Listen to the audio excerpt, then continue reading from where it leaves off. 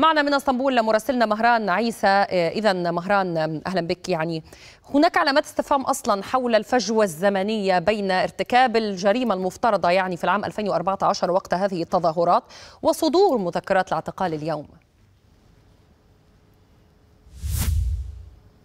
نعم بالفعل هذا ما يتم الحديث عنه الآن سيما وأن الحدث وقع قبل قرابة ست سنوات من الآن. لكن الحزب الشعوب الديمقراطية الكردي يقول بأن هذه هي حملة مستمرة أصلا ضد الحزب من قبل الحكومة منذ سنوات وهذه الحملة تأتي في سياق هذه الحملة التي تستهدف الحزب حيث أن أصلا زعيم الحزب صلاح الدين دمرتاش يقبع في السجن منذ سنوات دون يعني إدانته بشكل صريح.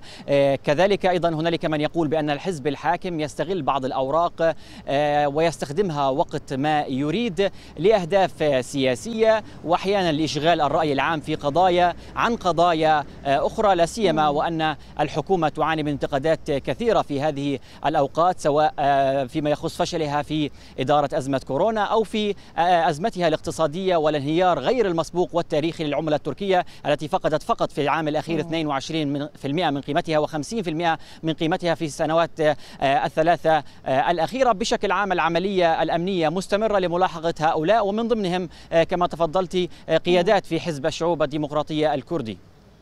نعم شكرا جزيلا لك مهران عي... مراسلنا مهران عيسى من إسطنبول. أشكرك جزيلا.